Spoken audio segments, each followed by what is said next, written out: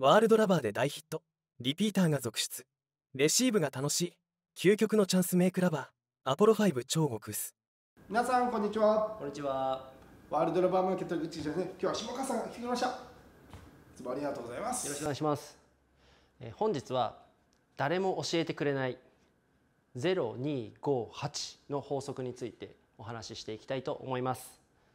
えーまあこの話を、えーこのタイトルを聞いただけではもう一体何を話すんだもう訳がわからないっていう人が多いと思うんですけれどもこれは一応今の段階では力加減と思ってください。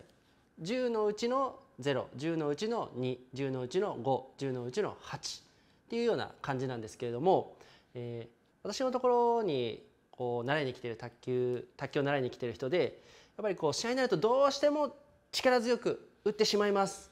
試合になるとどうしても怖くて入れるだけになってしまいますもう強く打って自爆か弱く打って相手に攻められるかもうそのどっちかになっちゃいますっていう人が非常に多いです。でそういう人たちに対してこの加減っていうのを提案しております。まあ、この力加減というのが上手にできると打たれた球をふわっと止めたりとか、えー丁寧にコースをついて入れたりとかこうはたまたチャンスが来た時にはしっかりピシッと打てるようになったりするのでこの0258の力加減で上手に打てるようにしてもらいたいなというふうに思っています。はい、今回に関しては練習法というよりも自分の意識やっぱりほとんどの人がフォアハンドバックハンドドライブだけになっているのでこのフォアハンドを0258でやってもらうでバックに関してはあの8でバーンって打つことってほとんどないのでバックに関しては025で下回転打ち。この下回転に対して攻撃していく時も、まあ、0っていうのはあの基本的にない。これちょっと後で説明これちょっと後で説明しますけど0っていうのは基本的にないので2の加減5の加減8の加減で打ってもらうということになります。まず上回転3球ぐらいでで来た球をあの殺します。オッケー。ゼゼロでゼロで返します最初。はいもうちょっと勢いもらって。いいですか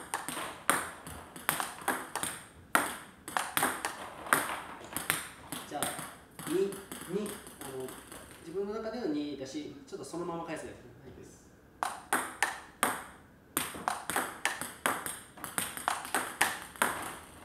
5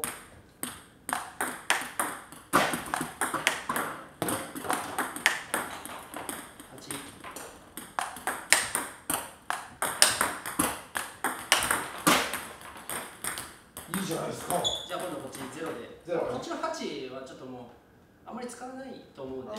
ほとんどの人が。うん。ほとんど使わないと思うんでそう025ぐらいで。オッケーですじ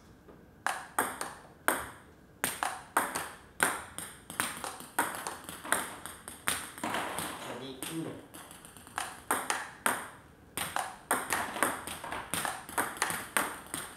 ゃあ5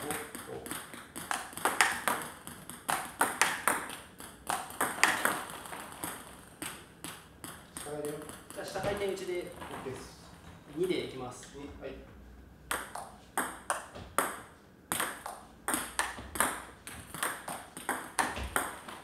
5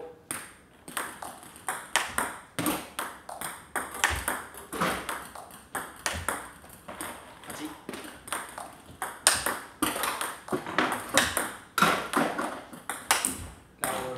ラスラストねこっちだけラスト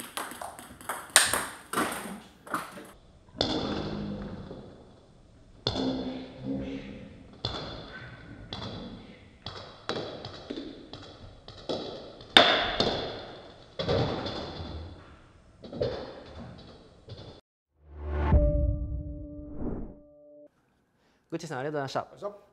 はい。まあこんな感じであの自分の力加減ではこう0258ちょっとある程度あ今0で打ったんだな2で打ったんだな5で打ったんだな8で打ったんだなっていうのが分かるような映像になってるかなというふうに思います。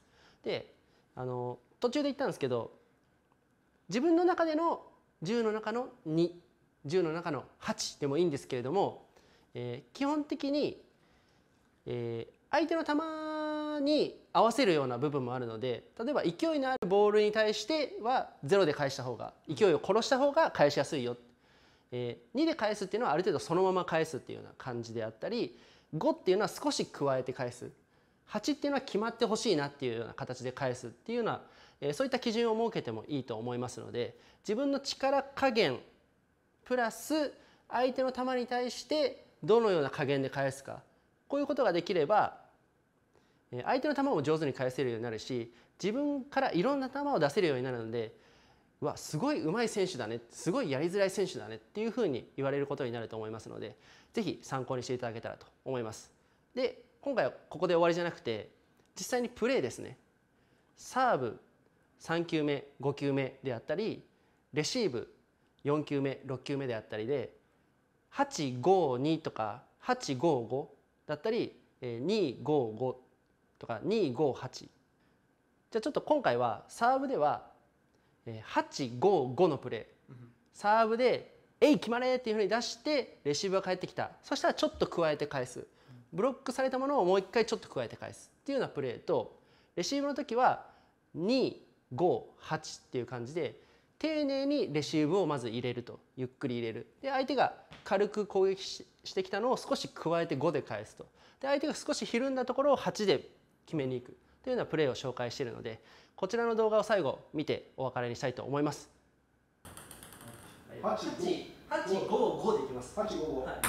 8 5。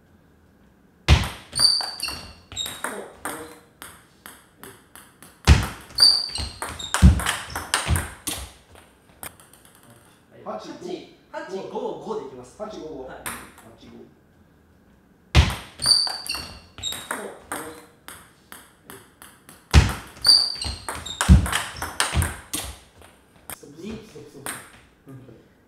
五。じゃあ二五八にします。軽んで、軽く軽くかけてもらう。もうこれでいい。軽くかけてもらって、そしたらちょっと五でプって返すんで。うん。返してね。どうも。八。オッケー。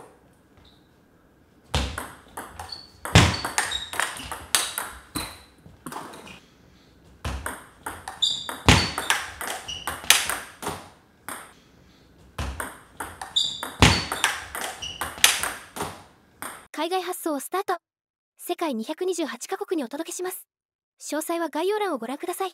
卓球で世界をつなげよう。